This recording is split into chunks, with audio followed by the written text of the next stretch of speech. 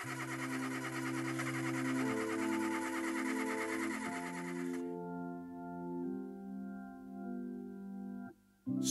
går ned over Tårnby. Jeg står med hånden på min bil. En synsinspektør skød den ned med en pil. Sådan en tragisk dag i april. Den lå helt perfekt i morges. Men jeg kunne ikke køre den hjem. Nej, for synsmanden han var koldblodig og slem. Han tog nummerplade saksene frem.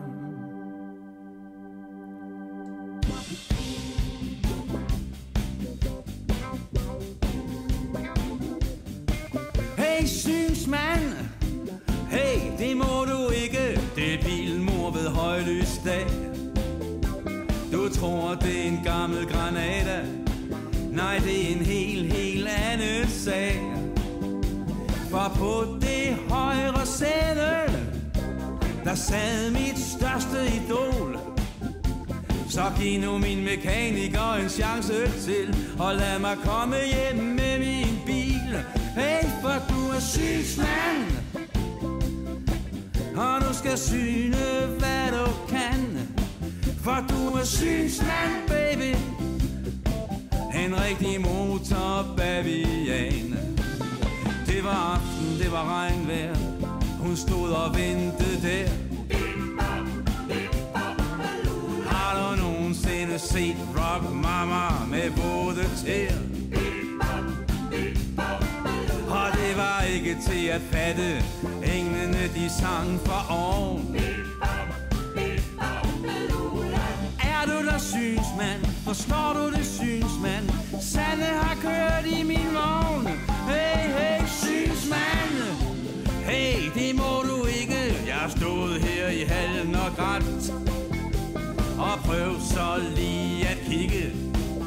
Hun har ridset sit navn i mit ret. Jeg kunne høre hendes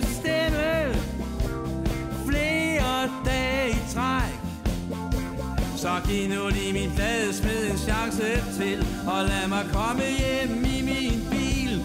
Hey, for du er synsmand. Ja, du er synsmand, baby. Du er synsmand. Og du syner hele dagen.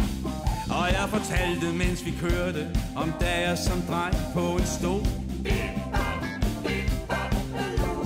Og satte hendes plader på min daddies gramofon. Og hun blev sindssygt smiret med tilbagevirkende kraft. Sig mig så synsmand, er det mund minder? Her synsmanden han selv har haft Nej næppe synsmand. Hey, det må du ikke For tænk hvis hun stod der igen. Tror du så jeg ville have den samme stil Hvis jeg kom i en lille Korea-bil. For i min Ford Granada Har jeg kørt en rockmammer hjem. Den aprildag i Tornby har vel nok været stemme Han tog nummerplade saksen frem. Ja, det gjorde min synsmand. Den stemme synsmand er synsmand Jamen så syn den dog for fan